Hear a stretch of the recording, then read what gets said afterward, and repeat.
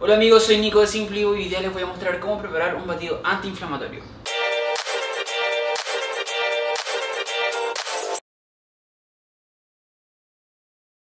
¿Quién de ustedes no tiene algún familiar, algún cercano que padezca de artrosis, artritis, la gota, osteoporosis o cualquier enfermedad que produzca dolores intensos debido a la inflamación?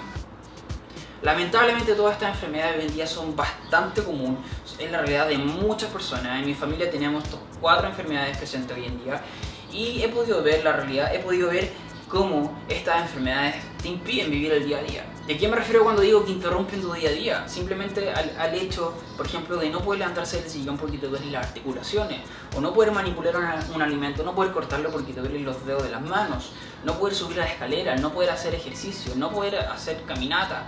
Al final, tu día a día depende del movimiento de tu cuerpo, al final, independiente de tu trabajo, independiente de tu estilo de vida o de, tu actividad física, al final vas a estar siempre en movimiento. Entonces, ¿por qué no mejor encontrar alimentos que tengan componentes naturales, que sean antiinflamatorios y así compensar un poco el tema de los remedios? Y ese es el motivo del video, cómo hacer un batido con alimentos que contengan estos componentes naturales antiinflamatorios.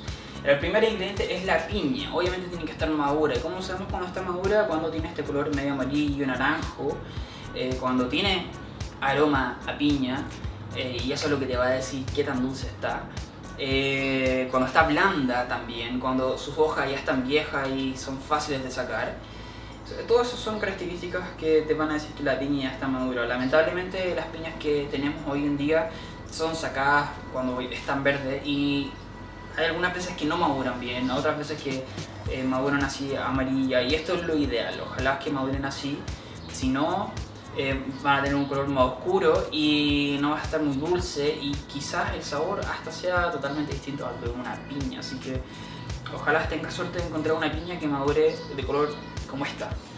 Eh, ¿Y qué es lo que tiene, qué componente tiene la piña que ayuda a los dolores? Una enzima que se llama bromelina. Eh, no voy a dar mayor información sobre eso porque si no el video me va a quedar muy largo y voy a postear una referencia en la descripción del video.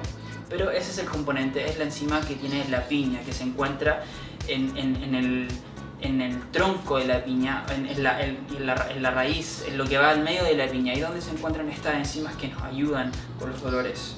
Así que eh, las vamos a utilizar enteras, o sea, las vamos a pelar y vamos a utilizar también el centro.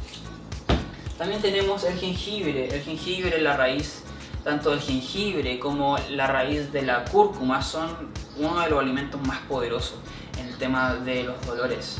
Eh, hace poco subí un artículo de una persona que se curó de cáncer eh, y él tomaba suplementos, suplementos porque eran altas dosis de cúrcuma y, se sabe que la cúrcuma tiene un gran eh, poder en cuanto a los dolores y también anticancerígeno. Lo mismo con el jengibre. El jengibre tiene un componente que se llama, eh, no, la curcumina es la de la cúrcuma y la de las jengibres ginger, los gingeroles.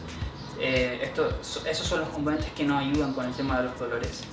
Así que eh, obviamente fresco, la raíz entera es mucho mejor que a consumir el polvo que encontramos en los supermercados. Así que compra la raíz la raíz. Y en cuanto a la porción, vamos a utilizar, si no estás muy familiarizado con el sabor del jengibre, eh, anda utilizando de a poco. Eh, yo ahora voy a utilizar, debe ser como un, como un, dado, como un dado un poco más chico y yo creo que va a ser suficiente para la piña entera. Y también tenemos las hojas verdes, obviamente. Acá tenemos col rizada, en Chile por lo menos es un poco difícil conseguir col rizada, pero cualquier hoja verde que tenga color intenso, así oscuro, como la espinaca, las selgas o otras hojas que ya he nombrado.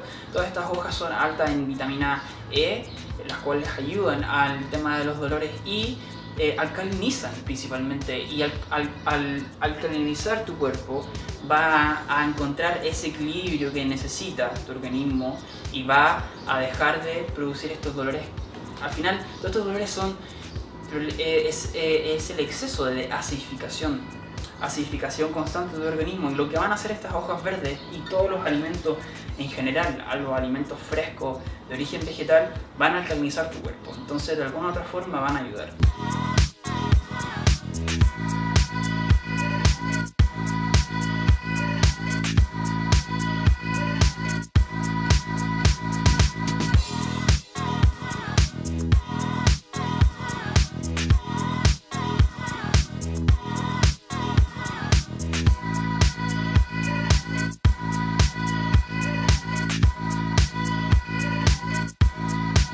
Miren el color de esto, por favor.